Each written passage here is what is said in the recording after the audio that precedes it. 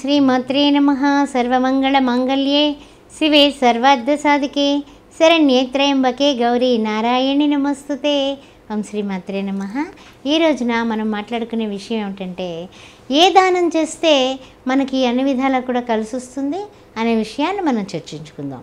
అంటే ఏమిటంటే దానానికి ఫలితం ఉంటుందా? ఏ దానానికి ఏ ఫలితం ఉంటుంది? అనే విషయాన్ని కూడా చాలామంది అడుగుతూ ఉన్నారు. ఏమంటే ఏం దానం చేస్తే మంచిదండి? ఏ దానం చేస్తే కనుక మనకి అన్ని విధాలా కూడా కలిసి వస్తుంది అని అడుగుతూ ఉన్నారు. అంటే మనకి ఇక్కడ మనం చెప్పుకోవాల్సింది ఏంటంటే మానవుడు మూడు రుణాలతో పుడతాడు. తెలుసా విషయం మీకు? ఆ మూడు రుణాలు ఏమిటో చెప్పిన? ఆ మూడు రుణాలు కూడా దేవరుణము పితృరుణము ఋషి రుణము అనే మూడు రుణాలు ఉన్నాయి ఆ మూడు రుణాలు మనం తీర్చుకోవాలి కదా. అందువల్ల ఈ దానానికి రుణానికి సంబంధం ఏమిటి అనుకుంటున్నారా? ఉంది ఉంది. అందుకనే చెప్తున్నా. అయితే ఏమిటంటే మనకి మనము మన పుట్టినరోజు పండుగ రోజున కానీ లేకపోతే ఏదైనా పెద్దలకి పళ్ళు పెట్టుకోవడం తర్వాత పెద్దల పేరు చెప్పి బట్టలు పెట్టడం లేకపోతే ఇంకా చెప్పాలంటే కనుక తర్పణాలు ఇవ్వడం తర్వాత ఇంకా పిండ ప్రధానాలు చేయడం ఇలాంటివన్నీ చేస్తూ ఉంటాం కదా. అలాంటప్పుడు దానాది ప్రక్రియల నిమిత్తం దశదానాలకి ఇంత ఇచ్చేయండి అని అడుగుతూ ఉంటారు అయ్యవార్లు. అప్పుడు మనం ఏం చేస్తాం? ఏదో ఎంతో సరిపెట్టుకోండి అని ఒక ఐదు వందలో వెయ్యో మనకు తోచింది ఇచ్చేసి వంద రూపాయలు ఎంతో కొంత ఇచ్చేసి దశదానాలు కూడా మనం చేసినట్టుగా మనం ఫీల్ అయిపోతూ ఉంటాము. అది నిజంగా దానమా? కాదు కాదు. మంత్రము పూర్వకంగా మంత్రం చదివినంత మాత్రాన అది నిజమైన దానం కాదు. మరి నిజమైనటువంటి దానం అంటే ఏమిటి? అని ఆలోచించినట్లయితే దానికి సరిపడా ద్రవ్యం ఇవ్వాలి. దానికి సరిపడా ఇవ్వట్లేదు కదా. మనం భూదానం అంటాం. భూదానం అంటే పది రూపాయలు సరిపోతుందండి? సరిపోదు కదా. దశదానాలకి వంద రూపాయలకి మాట్లాడేసుకున్నాం అనుకుంటూ ఉంటాం. అలా కాదనమాట. అందువల్ల ఏ దానము ఎలా చేసుకోవాలి? వస్త్రదానం చేస్తూ ఉంటామండి. అంటే చాలా ఇష్టం చాలామందికి ఎలా అంటే పసుపు బొట్టు కుంగు. తర్వాత ఏంటంటే వచ్చిన వాళ్ళ కాళ్ళకి పసుపు రాసి ముత్తైదులకి చీర జాకెట్టు పెట్టి పంపిస్తూ ఉంటారు. అది మన భారతీయ సంప్రదాయం భారతీయ సంస్కృతిలో భాగం. అది వస్త్రదానం.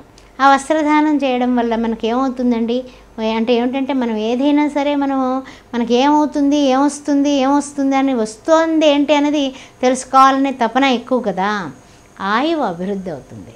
మీరు ఒక వంద సంవత్సరాలు జీవించాలన్న ఆయువు ఎప్పుడు కూడా మనం చేసేటటువంటి చిన్న చిన్న తప్పుల వలన ఒప్పుల వలన ఆ అకాల మృత్యు భయము తర్వాత ఏంటంటే ఆపదలు గండాలు ఇవన్నీ కూడా దాటడానికి ఈ మీరు ఇచ్చేటటువంటి వస్త్రదానము మీకు ఫలిస్తుంది సుమా. సరే బాగుంది కదా? ఓకే. ఆ తర్వాత మనము భూమి దానం చేస్తాం కొంతమంది గుళ్ళకి దానం చేస్తారండి. అంటే ఒక వెంచర్ వేశారంటే కనుక పెద్ద పెద్ద వాళ్ళు సుమా గుడికి కూడా ఒక కొంత స్థలం ఒక వంద గజాలు ఇస్తూ ఉంటారు. కొంతమంది ఊళ్ళల్లో కూడా కొన్ని కొన్ని జాగాలు ఉంటే కనుక ఒకటి గుడికి నిమిత్తం ఇచ్చిస్తూ ఉంటారు. ఆ విధంగా కొంతమంది గుడిలో పే వాళ్ళ పేరు మీద పెద్ద పెద్ద నాపరాళ్ళు కూడా పేరు వేయించుకుని ఇచ్చేవాళ్ళు ఉన్నారు. అలా రకరకాలైనటువంటి భూదానం అంటే ఏంటి ఆ నాపరాయి పట్టినంత నేల ఈయన దానం చేసినట్లు లెక్క. అర్థమైంది కదా మనకి ఇప్పుడు నాపరాల మీద పేర్లు ఉంటాయి పూర్వకాలం గుళ్ళల్లో. ఆ గుళ్ళకి అర్థం అదే. ఆ నాపరాయి నిమిత్తం మనం డబ్బులు ఇచ్చాం కాబట్టి ఆ నాపరాయంత నెల నేల కూడా గుడికి మనం ఇచ్చేసినట్లే మనం భూదానం చేసినట్లే అని మన పెద్దవాళ్ళు చాలా ఆనందపడుతూ ఉండేవాళ్ళు. అలా అనమాట అంటే ఎక్కువ ఇవ్వలేకపోయిన వాళ్ళు ఈ విధంగా చేసుకునేవారు. ఆ తర్వాత అది భూమి దానం చేయటం వలన ఏం కలుగుతుంది అంటే బ్రహ్మలోక ప్రాప్తి కలుగుతుంది అని చెప్పబడింది. అయితే సరే బాగానే ఉందండి. భూమి భూదానం అయింది తర్వాత వస్త్రదానం అయింది మరి గోదానం చేస్తూ ఉంటారు కదండి. గోదానం ఎందుకు చేస్తారు? గోవు నేహంగా ఇప్పుడైతే ఖరీదులు ఎక్కువైపోయాయి. రెండు లక్షలు పెట్టి కొని దానం చేయడం ఆ దానం చేసినటువంటి గోవుని ఆ యొక్క బ్రహ్మగారు ఇంటికి పట్టుకెళ్ళి ఆయన పాలు పితుక్కొని ఆయన తాగుతాడా లేకపోతే అమ్మేసుకుంటాడా అని పెద్ద డౌటు. దీనితో మనం దానం చేస్తున్నాం కదండి? మరి డౌట్ దామస్లాగా మరి ఇలా దానం చేస్తున్నాం కదా మరి తప్ప కరెక్టా కాదా? ఎంత డబ్బు పెట్టి ఎట్లా అండి? ఏమిటండి? అనేసి అడిగేవాళ్ళు కూడా ఉన్నారు. గోదానం ఎవరైతే చేస్తారో గోవు పరమ పవిత్రమైనటువంటిది. గోవు అని అనగానే ఆ- గోవు యొక్క కృష్ణ భాగాన్ని మనం కళ్ళు మూసుకుని దర్శించిన వెంటనే మనకి సకల నదుల్లోని కూడా వెళ్ళి స్నానం చేసి వచ్చినటువంటి పుణ్యం కలుగుతుంది. అంతటి మంచిది. గోవు అంత పవిత్రమైంది. అలాంటి గోదానం చేయడం వల్ల ఋషి రుణం అని ఇందాక చెప్పుకున్నాం కదా ఋషి రుణం తీరిపోతుంది. ఋషులు మనకి వేదాలు మంత్రాలు శాస్త్రాలు మన భారతీయ సంస్కృతిని అంతటినీ మా వాళ్ళందరూ కూడా మనకి స్మృతుల ద్వారా శృతుల ద్వారా అందించారు కదా ఆ ఋషి రుణం తీరుతుంది. మంచిదేనా ఇప్పుడు గోదానం? సరే. ఇంకా రెండు ఏం తిరుగు తీరుతుందో చూడండి. దేవరుణంకు తీరుతుంది. దేవరుణం అంటే ఏమిటి? మన ఇంటి దేవత మన కులదేవత అదేవిధంగా గ్రామ దేవత అదేవిధంగా మన పితృదేవతలు. అందరి రుణాలు కూడా దేవరుణం నిమిత్తంగా గోదానం చేసినట్లయితే తీరిపోతుంది. ఏ సరే ముచ్చటగా మూడవది ఏమిటంటే పితృరుణం కూడా తీరిపోతుంది. గోవుని దానం చేస్తే పితృరుణం కూడా తీరిపోతుంది. అంటే ఏమిటి? మన మాతా పితలే కాకుండా మన తాత ముత్తాతలు ఏడు తరాల యొక్క రుణము ఏదైతే ఉందో ఆ పితృదోషాలు అంటూ ఉంటాం కదా ఆ దోషాలన్నీ కూడా పోతాయి సుమా. వైతరిణీ నది అనేది ఒకటి ఉంది. మనం చనిపోయిన తర్వాత ఆ వైతరిణీ నది దాటడానికి ఈ గోదానం చేయడం వలన మనకి గోవు యొక్క తోక పట్టుకొని ఆ వైతరిణీ నది అనేది బీభత్సంగా ఉంటుంది. చాలా కష్టమైంది చాలా క్లిష్టమైంది. జీవి చాలా బాధపడుతూ ఎలా దాటాలా అనుకునేటప్పుడు గోవు తన తోకను అందిస్తుంది. ఆ తోక పట్టుకుని వైతరిణి నది మనం దాటేసినట్లయితే యమలోకం వెళ్ళకుండా స్వర్గలోకం పెడతాము అని కొన్ని మనకి గరుడ పురాణం లాంటివి చెబుతూ ఉన్నాయి. అందువలన ఆ విధంగా మనము మంచి స్థితికి వెళ్ళడానికి అంటే మనం ఉండగానే కాదు తరువాత కూడా ఊర్ధ్వలోకాలకి వెళ్ళడానికి గోదానం అనేది అంత ముఖ్యమైనది సరే బాగానే ఉందండి. కొంతమంది మరి నారికేళ దానం చేస్తూ ఉంటారు అంటే మంచి కొబ్బరికాయ తీసుకుని కొబ్బరికాయలు గెల కానీ కొబ్బరికాయలు కానీ లేకపోతే ఒక్క కొబ్బరికాయ అయినా సరే దానం చేస్తూ ఉంటారు. దాని వలన ఫలితం ఏంటి అని ఆలోచించినట్లయితే ఎన్నో విచారాలు ఎన్నో కష్టాలు బాధలు ఉంటూ ఉంటాయి. కొంతమందికి ఎప్పుడు విచారం చిరాకు చింత ఉంటుంది. ఆ చింత అంటే జంత చెట్టు కాదు. చింత అంటే ఏమిటి? బెంగ. ఆ బెంగ పోవడానికి కొబ్బరికాయ దానం ఇవ్వడం నిండు బొండం. దా ఆకుపచ్చ రంగు మంచి ముచ్చుకతో ఉన్నటువంటి కొబ్బరికాయని దానం ఇవ్వడం ఆ దాన ఫలం కూడా నారికేళ దానం అంటారు. అది వాళ్ళందరికీ కూడా చింతలు ఆ బాధలు కూడా పోతానికి ఇదొక తార్కాణం. తర్వాత అండి దీపదానం చేస్తూ ఉంటారు కార్తీక మాసంలో ముఖ్యంగా. అది ఎందువల్ల అంటే కనుక దీపం జ్యోతి పరబ్రహ్మ అనే శ్లోకం మనం చెప్పేసుకోవచ్చు. చెప్పేసి ఆ దీపాన్ని మన సంధ్యాదీపం నమస్తుతే అంటూ దీపాన్ని చక్కగా దానం చేస్తూ ఉంటాం. అది కొంతమంది కలిగిన వాళ్ళైతే వెండి ప్రమిద బంగారు ఒత్తి వేసి మళ్ళీ దీపం పెట్టి చేస్తూ ఉంటారు. కొంతమంది నువ్వుల నూనెతో మట్టి ప్రమిదలతో చేస్తారు. ఎలా దానం చేసినా దీపదానం దీపదానమే కదా. మరి దాని ఫలితం ఏంటని ఆలోచించినట్లయితే కంటి చూపు వృద్ధి అవుతుందండి. దీపదానం చేసుకుంటే కంటి చూపు వృద్ధి అవుతుంది. ఆ తర్వాత మంచి పదవి అంటే ఆలయాలకి దీపదానం చేయడం వలన మంచి పదవులు వస్తాయట. అంటే ఏమిటి? పదవి కాంక్షతో ఉంటారు కొంతమంది. అంటే ఏమిటి? వాళ్ళు అనుకున్నటువంటి పనులు అవ్వకపోవడం లేకపోతే రాజకీయాల్లోని తర్వాత కొన్ని కొన్ని ఉద్యోగాల్లోని పదోన్నతి జరగనటువంటి వాళ్ళకి దీపదానం అనేది చాలా బాగా పదోన్నతికి పనికొస్తుంది. ఆ తర్వాత ఇంకా ముఖ్యంగా కర్మదానం అంటారండి. అయ్యో ఇదేమిటండి కర్మదానం ఏమిటి అని అనుకుంటున్నారా? అంటే ఏంటంటే ఉసిరికాయలు దానం చేస్తూ ఉంటారు. ఉసిరి దీపం ఉసిరికాయలు దానం చేస్తారు. దానివల్ల జ్ఞానాభివృద్ధి కర్మ తొలగిపోతుంది సుమా అని కూడా చెప్పబడింది.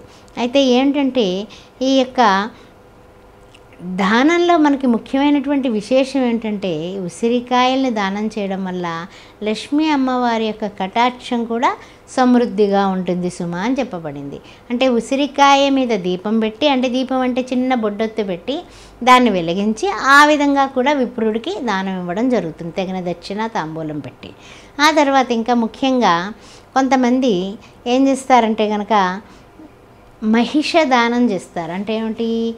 ఒక గేదెని దానం చేస్తుంటారు. మహిషము అంటే కనుక మనకి యొక్క గేదె కిందే వస్తుంది కాబట్టి దానం చేస్తారు. అలాగా పాలు ఇచ్చేటటువంటి తల్లి పిల్ల ఉన్నటువంటిది సూడు సూడితో ఉన్నది లేకపోతే నిండు గర్భంతో ఉన్నది తీసుకొచ్చి దానం చేస్తుంటారు. కొంతమందికి ఆ ఏమిటంటే ఆ గేదె ఈనిన తర్వాత కూడా దానం ఇచ్చేస్తూ ఉంటారు. ఎందువల్ల అంటే అకాల మృత్యు భయాలు గండాలు కూడా పోతాయి సుమా అని చెప్పబడింది.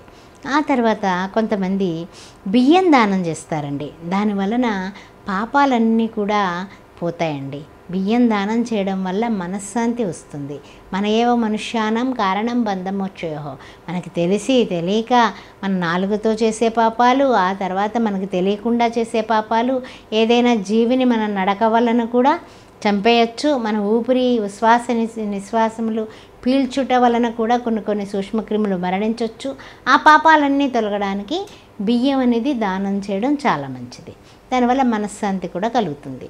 ఆ తర్వాత కొంతమంది ఏం చేస్తూ ఉంటారంటే కనుక దూది దానం చేస్తారు. అంటే మంచి బూరుగు చెట్ల నుంచి తీసినటువంటి దూది తీసుకుని ఒక తలగడాకి సరిపడా లేకపోతే పరుపుకు సరిపడా వాళ్ళ యొక్క పరిస్థితులను బట్టి దానం చేస్తూ ఉంటారండి. దానం చేయడం వల్ల ఏం జరుగుతుందంటే కనుక కొంచెం కుష్టు వ్యాధి లాంటివి వచ్చినప్పుడు అవి తొలగిపోతాయి సుమా అని చెప్పబడింది.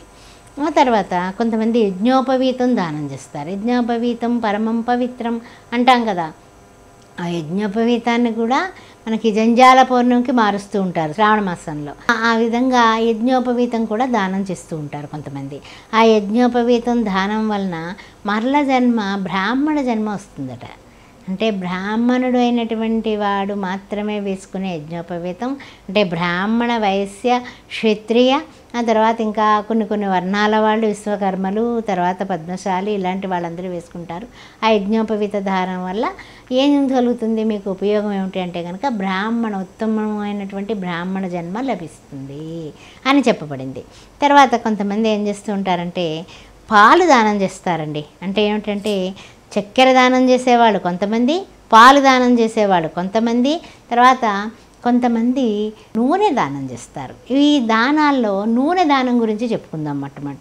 ఈ నూనె దానం చేయడం వల్ల అనారోగ్యము అనేది పోతుందండి.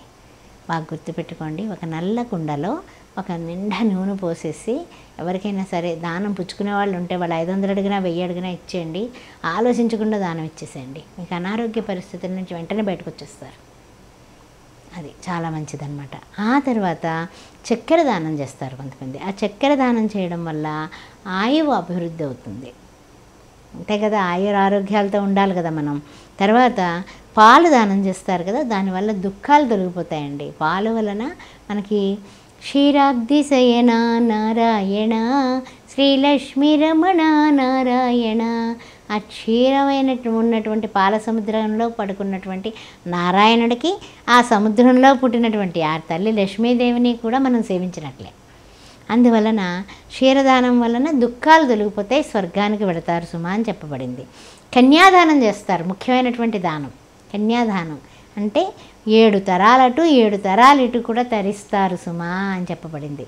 తండ్రి వైపు వాళ్ళే కాదు తల్లి వైపు వాళ్ళే కాదు ఉత్తమ గతులకి ఎవరైతే ఉన్నారో మనకి పితృదేవతలు వాళ్ళందరూ వెళ్ళడానికి కన్యాదానం అనేది చాలా పరమ పవిత్రమైనది చాలా మంచిది అని చెప్పబడింది. ఇంకా ముఖ్యమైనటువంటి విషయం ఏమిటంటే కొంతమంది సువర్ణ దానం చేస్తారు. దానివల్ల పాపము దరిద్రము కూడా తొలగిపోతాయి. మనం చేసే పాపాలు దరిద్రము కూడా తొలగిపోతుంది. ఆ తర్వాత శనగలు దానం చేయడం వల్ల పారే నదిలో శనగలు వేయమని చెప్తూ ఉంటాం మేము జ్యోతిష్యులం. దాని వలన ఏం కలుగుతుందంటే సంతతి నిలుస్తుంది. సంతతి కొంతమందికి అభాషణలు అయిపోతూ ఉంటాయి. తర్వాత ఏంటంటే వంశం నిలబడదు. అలాంటి వాళ్ళకి ఈ శనగల దానం బాగా పనికొస్తుంది. వివాహం కాని వాళ్ళకి. వివాహం గురుబలం పెరుగుతుందండి. ముఖ్యంగా యాతావాత చెప్పేది ఏమిటంటే గురుబలం బ్రహ్మాండంగా పెరుగుతుంది. ఆ తర్వాత భక్ష్యాలు తయారు చేసి చక్కగాని భక్ష్యాలు అంటూ ఉంటారు. కొంతమంది బొబ్బట్లు అంటూ ఉంటారు తెలుగునాట అయితే వీటిని దానం చేస్తూ ఉంటారు. దానివల్ల విఘ్నాలు తొలగిపోతాయండి. విఘ్నేశ్వరుడికి మీరు ఇరవై ఏడు భక్ష్యాలు చక్కగా పెట్టేసి ఆయనకు నివేదన చేసేసి నామాలన్నీ చదివేసి పూజ చేసేసి అందరికీ దానం చేసేయండి. బ్రహ్మాండంగా విఘ్నాలన్నీ తొలగకపోతే అడగండి. బ్రహ్మాండంగా తొలగిపోతాయి. ఆ తర్వాత వీటన్నింటికన్నా కూడా ముఖ్యంగా మనం నిదానంగా ఉండడం.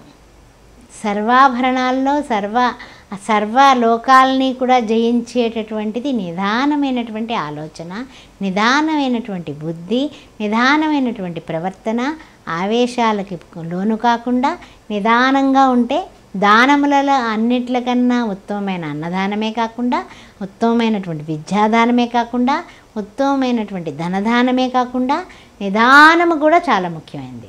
మరి ఇవన్నీ కూడా మనం పాటిద్దామా? అన్ని దానాలు మనం చేసుకుందాం. కుచేలుడు లాంటి వాళ్ళు అటుకులు దానం చేశారు. ఎవరికి? శ్రీకృష్ణ పరమాత్మకి. ఆయన అష్టైశ్వర్య సంపన్నుడైపోయాడు. అందువల్ల అటుకులు కూడా దానం చేయొచ్చు. ఆ తర్వాత తీపి పిండి కొంతమంది దానం చేస్తూ ఉంటారు. దాని వలన కూడా పాపాలన్నీ కూడా పోతూ ఉంటాయి అన్నమాట చీమలకి చక్కెర పిండి వేయడం వలన కూడా మనకి ఇంట్లో ఉండేటటువంటి కష్టాలు నష్టాలు బాధలు అన్నీ కూడా తొలగిపోతాయి. ఈ విధంగా మనం ఆయుర ఆరోగ్య అష్టైశ్వర్యాలతో చల్లగా ఉండాలని భగవంతుడిని ప్రార్థిస్తూ అమ్మ అమ్మ దయ ఉంటే అన్నీ ఉన్నట్లే. ఏ దానం చేసినా సరే అమ్మవారిని తలుచుకొని అమ్మ తల్లి నీ దయ అని దానం చేయండి. అన్ని విధాలా మీకు విజయం కలుగుతుంది. ఈ ఆస్ట్రో భాగ్యలక్ష్మి అనే ఛానల్ని సబ్స్క్రైబ్ చేశారా? చేయకపోతే వెంటనే చేయండి. చేయడమే కాదండి సోషల్ మీడియాలో మీ బంధుమిత్రులందరికీ ప్లీజ్ కొంచెం షేర్ చేయండి. నమస్తే.